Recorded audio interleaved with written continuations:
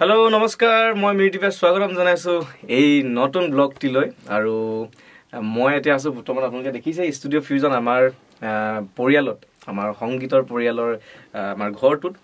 আৰু বিশেষ একো নাই আজি প্ৰেমৰ দিৱস চৈধ্য চৈধ্য ফেব্ৰুৱাৰী। আজিৰ দিনটোত আমি এই ভিডিঅ'টো শ্বুট কৰি আছোঁ য'ত হয়তো ভিডিঅ'টো দিওঁতে দিওঁতে এদিন লেট হ'ব পাৰে। গতিকে আজি প্ৰেমৰ দিৱসত ভাবিছোঁ অকণমান আমাৰ পৰিৱেশটো আৰু অকণমান দুই এটি গীত গাই পেলাই আপোনালোকক শুনাওঁ বুলিয়ে ব্লগটো আৰম্ভ কৰিছোঁ। আৰু সকলো ভালে থাকিব সকলোৰে মনবিলাক মৰমেৰে ফূৰ্তিৰে ৰাখিব। যিহেতু আজি প্ৰেমৰ দিৱস গতিকে অকণমান প্ৰেম প্ৰেম কথা ক'ব লাগিব।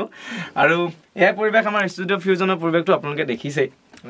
বৰ্তমান মই অকলেই আছোঁ ফিউজনৰ ভিতৰত আৰু মোৰ পিছফালে ধীৰাজে কেমেৰা কৰি আছে। ৰাজীৱ দা নাই। ৰাজীৱ দা অকণমান বজাৰলৈ গৈছে ষ্টুডিঅ'টো মোক মাইক্ৰফোনটো দি পেলাই এৰি থৈ গৈছে। তো এনে থকা সময়খিনিত কি কৰোঁ গীতকে গাওঁ বুলি ভাবিলোঁ। আৰু তো এতিয়া আমি গীতৰ মাজলৈ যাম। অকণমান আজি অকণমান গান গোৱাৰ মুডত আছোঁ মই। গান এটিমান গাম বুলি ভাবিছোঁ।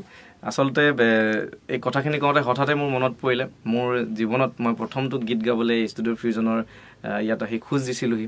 আজিৰ পৰা চাৰি বছৰ আগত দুহেজাৰ সোতৰ চনত। ইয়াত মই প্ৰথম ৰেকৰ্ডিং কৰা মোৰ জীৱনৰ প্ৰথমটো গীত যিটো গীত বন্ধু শৰৎ মেছে লিখিছিলে সংগীত কৰিছিলে ভৰত শইকীয়াদাই সেই গীতটোকে মোৰ দুটামান লাইন গাবলৈ মন গৈছে হয়তো আপোনালোকে শুনিছে কিছুমানে কিছুমানে শুনা নাই।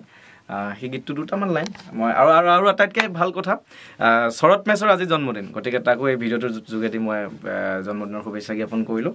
যি কি নহওক দুটামান লাইন।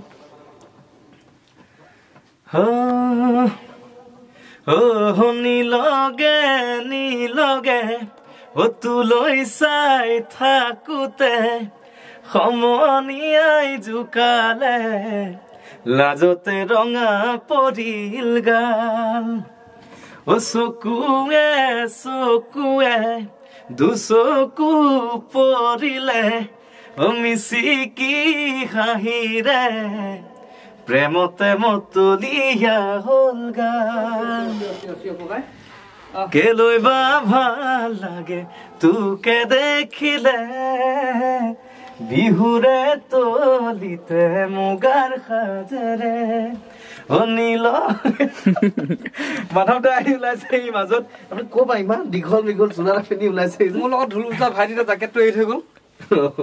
দুবছৰমান হ'ল এতিয়া মই যাত্ৰা কৰি দিলো পিন্ধি চাওঁচোন বোলো কি বস্তুটো আমাৰ মৰাণৰ তাতকে সৰু ল'ৰাজন আহি উপস্থিত হৈছে। খুবেই ধন্যবাদ। সৌভাগ্যৱান। আৰু আপোনাক ভেলেণ্টাইন ডেৰ শুভেচ্ছা জ্ঞাপন কৰিছো। ভেলেণ্টাইন এইটো পতা বয়সটো নাই বাৰু তথাপিও মানে ফটো কৰি মাৰিছে মানুহজনৰ লগত মই আজি। ন?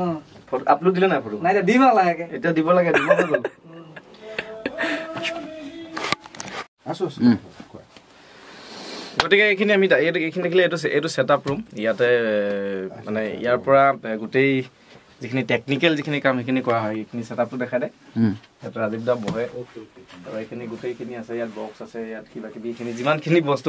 সামগ্ৰী আছে মেচিন বস্তু আছে তাৰপিছতে আমি এতিয়া যাম ডাবিং ৰুমলৈ য'ত বহুত বা অসমৰ বহুত ভাল ভাল গান হিট ইন গান ইয়াৰ পৰা ওলাই গৈছে। আমাৰ নীলা কৈলাশ দা মোৰ- যিমানখিনি ছিংগাৰ আছে বহুতেই ইয়াত গীত গাইছে। গতিকে আমি ডাবিং ৰুমটোলৈ যাওঁ।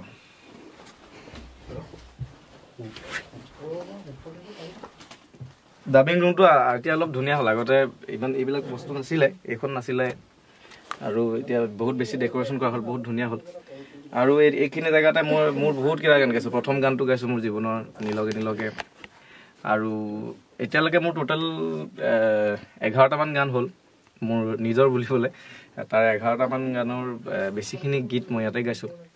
গালৰ কলা তিলটো ইয়াতে গাইছোঁ মই যিটো গানৰ ভিডিঅ' আহি আছে দেই সোনকালে। তো সেই গীতটো মই ইয়াতে গাইছোঁ। তো সেয়াই এইটোৱে ছেটআপ ইয়াতে সকলোৱে আহি গীত গায় কোনোবাই বহি গায় কোনোবাই থিয় হৈ গায় আৰু ইয়াৰ পৰা বহুত ধুনীয়া ধুনীয়া গীত ওলাই গৈছে। আপোনালোকে শুনিছে আপোনালোকে জানে ষ্টুডিঅ' ফিউজনক আৰু কি ক'ম সদায় আশীৰ্বাদ কৰি থাকিব ষ্টুডিঅ' ফিউজনৰ এতিয়া দুহেজাৰ ন তেৰ বছৰত ভৰি দিলে আজি অলপ দিন আগতে। গতিকে আৰু যাতে দীৰ্ঘায়ু হয় আৰু যাতে আগলৈ ভাল ভাল কাম কৰি যাব পাৰে তাৰ কাৰণে সদায় আশীৰ্বাদ কৰিব আমাৰ মৰাণৰ সংগীতৰ পৰিয়ালটিক আশীৰ্বাদ কৰিব। অকল আমাৰ ষ্টুডিঅ' ফিউজনৰ লগতে আমাৰ আৰু এটি ঘৰ এতিয়া নতুনকৈ স্থাপিত হৈছে ষ্টুডিঅ' সৃষ্টি তাতো আমি এদিন এনেকৈ কথা পাতিম এনেকৈ এদিন গীত গাম। তো তালৈও এদিন যাম।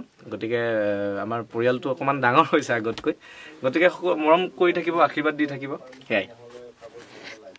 পাণ খায়? একো নালাগে? আপুনি পাণ খায় আপুনি জানো আমি পাণ খায়। এ, মই এটা কথা ৰাজীৱ দাক একদম সঁচাকৈ সুধিব বিচাৰিছোঁ দেই ধেমালি নহয়। মই প্ৰথম আহিছিলোঁ চাৰি বছৰ আগত দুহেজাৰ সোতৰ চনত হয় নাই? ইয়াত গান গাবলৈ আহিছিলোঁ। আৰু তেতিয়াৰ পৰা এতিয়ালৈকে মই মানে কেনেকুৱা দেখিছে?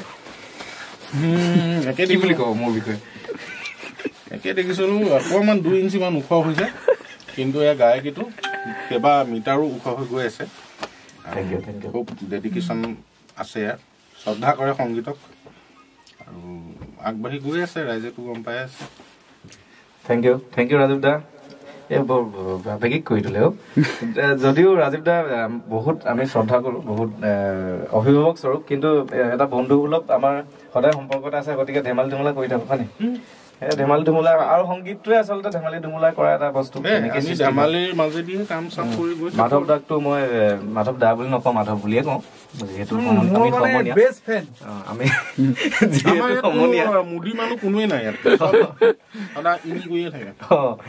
তো সেয়াই আৰু দুই এটা গীত গাম মাধৱ দা ন মাধৱ দা যিহেতু আহিছে।